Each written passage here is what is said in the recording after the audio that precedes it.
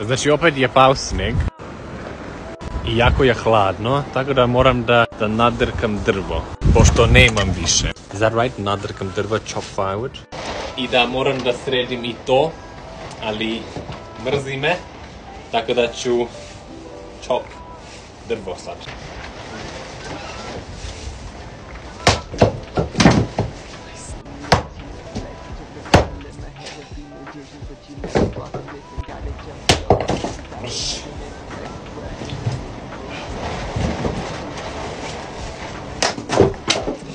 I dosta više za sad. Sad ću da vam pokažem moj bazen.